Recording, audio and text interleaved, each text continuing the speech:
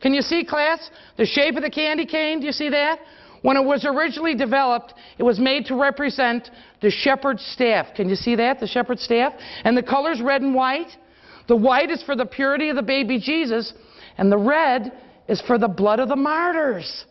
Isn't that festive? Look at this. From the creator of Late Night Catechism comes Sister's Christmas Catechism, the mystery of the Magi's gold. There's a living nativity, choirs, carols, presents, prizes, and a bundle of laughs.